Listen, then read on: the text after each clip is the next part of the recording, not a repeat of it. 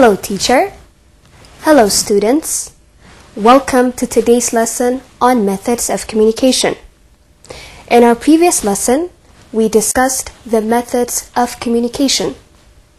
Particularly, we've discussed about the classification of communication. Let me remind you some of the main points of our previous lesson. Communication is classified as communication by media, by direction, and by degree of formality. Communication by media classifies communication into verbal communication, nonverbal communication, and written communication. Based on the degree of formality, communication can be classified as formal and informal communication. The first two methods of communication have already been discussed in the previous episode. So today's lesson will be focusing on the third method of communication, that is communication by direction. Communication is multidimensional or multidirectional. There are various directions in which it flows. Within the organization, communication may flow upward, downward, horizontal or lateral, one or two way communication. Let us discuss the direction of communication in organizations using the organization charts. The shape of any organization structure is similar to the shape of a pyramid. This is known as the hierarchy of management. In terms of the hierarchy of management, the pyramid is divided into three levels namely top management, middle management, and operational management. Within this structure, communication takes place. The shape of any organizational structure can be similar to a shape of a pyramid. This is a pyramid which shows the hierarchy of management. The pyramid is divided into three levels. These are top level management, middle level management, and operational management. Now let us start with upward communication. It is communication that flows from bottom to top or which is from lower hierarchical level to higher level. Upward communication is used to provide feedback to higher ups, inform them of progress toward goals, and relay current problems. Upward communication keeps managers aware. Now I want you to do the following exercise by discussing with the students sitting next to you. You have two minutes. List examples of upward communication in any specific organization.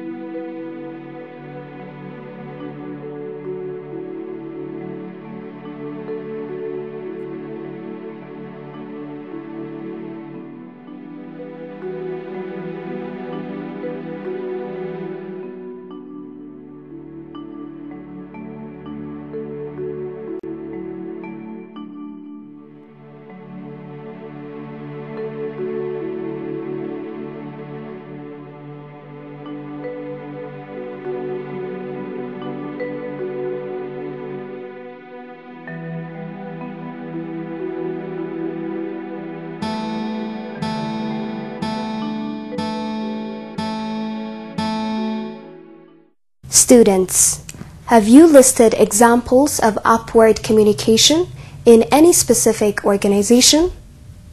Good. Let's now provide you with lists of examples for upward communication in any specific organization so that you can compare your answers. Examples of upward communication include performance reports prepared by lower management for review by middle and top management, suggestion boxes, employee attitude surveys, grievance procedures, superior subordinate discussions, and informal grief sessions in which employees have the opportunity to identify and discuss problems with their boss or representatives of higher management. I hope you are clear with upward communication. Let's proceed to downward communication. What do you think of downward communication? Downward communication is communication that flows from one level of a group or organization to a lower level. Downward communication follows the authority responsibility relationship in the organization chart. Let us see some examples of downward communication. It usually takes the form of giving instructions, directions, assigning duties, or providing information to those delegated to perform a task. Downward communication is used by the managers for the following purposes. Providing feedback on employees' performance, giving job instructions, providing a complete understanding of the employee's job, as well as to communicate with them how their job is related to other jobs in the organization, communicating the organization's mission and vision to the employees, highlighting the areas of attention. The next type of communication is horizontal or lateral communication. Horizontal communication or lateral communication is communication that takes place at same levels of hierarchy in an organization. It would be communication between peers, between managers at same levels, or between any horizontally equivalent organizational members. It is usually coordinative in nature and involves sharing information, resolving conflicts, and solving problems across the organization structure. Horizontal communication has the following advantages. It is time saving it facilitates coordination of the task. It facilitates cooperation among team members. It provides emotional and social assistance to the organization. It helps in solving various organizational problems. It is a means of information sharing. And it can also be used for resolving conflicts of a department.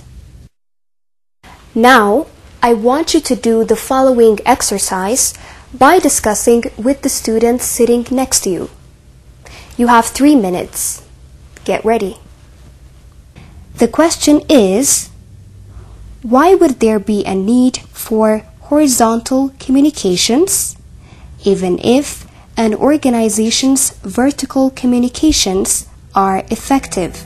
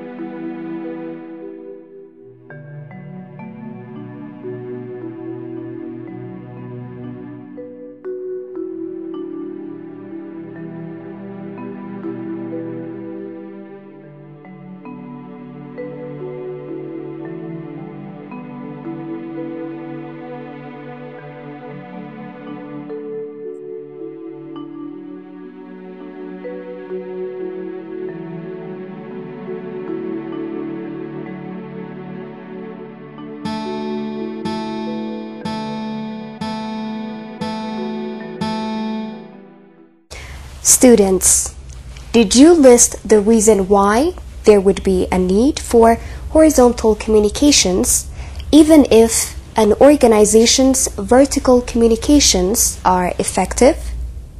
Good. Let's now provide why there would be a need for horizontal communications even if an organization's vertical communications are effective so that you can compare your answers. There would be a need for horizontal communications even if an organization's vertical communications are effective.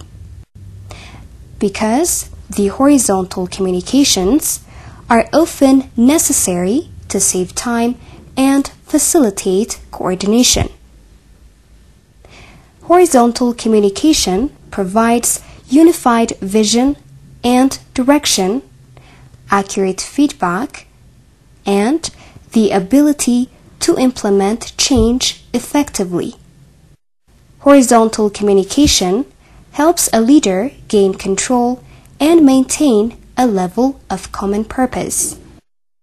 Now let's see a further aspect of direction relation that is whether it is a one-way or two-way communication. When there is no facility for a reply or feedback, it is called one-way communication. It is a communication when the receiver cannot respond to a message. An advertisement or information posted on a notice board is an example of one-way communication. One-way communication within an organization is associated with authoritarian or dictatorial style of leadership. In the authoritarian or dictatorial leadership style, the authority of the leader is being preserved unchallenged. Students, most communication is not one way at all. People speak with one another. They learn from each other or discuss matters. So it becomes two way communications. Two way communication is when the receiver can respond to a message. This confirms that the message has been both received and understood. Now I want you to do the following exercise by yourself. You have two minutes. The question is, what are the advantages of two-way communication in an organization?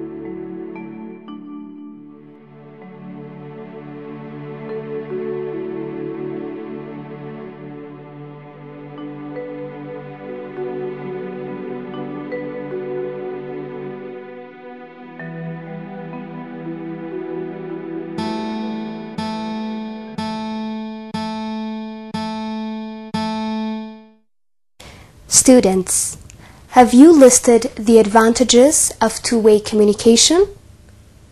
Good. Let's now provide you the answer so that you can compare with your answers. The advantages of two-way communication include the following.